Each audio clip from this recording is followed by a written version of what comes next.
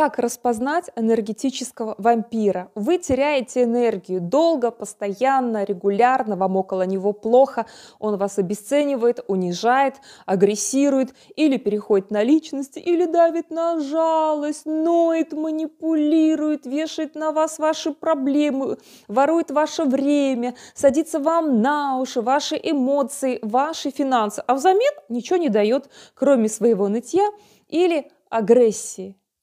Задайте себе вопрос, зачем я в этих отношениях, зачем я это терплю? Верьте себе, слушайте себя, и тогда вы спокойно распознаете любого энергетического вампира.